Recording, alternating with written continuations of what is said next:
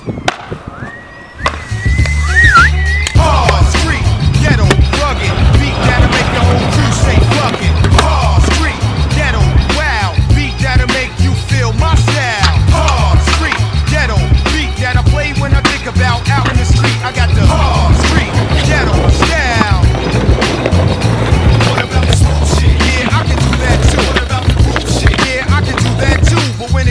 time to rock the block. Who got that old mad ghetto type shit stocked and locked?